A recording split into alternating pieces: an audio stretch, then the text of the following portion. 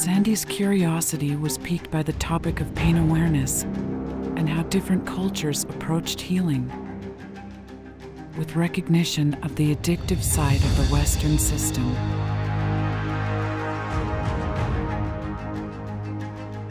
On a psychic level, she connected with her great grandfather. Through the Panspiritism series, she has explored and uncovered many secrets from the past. The experience was both enlightening and scary. The nurturing of conscious awareness is an integral part of her story.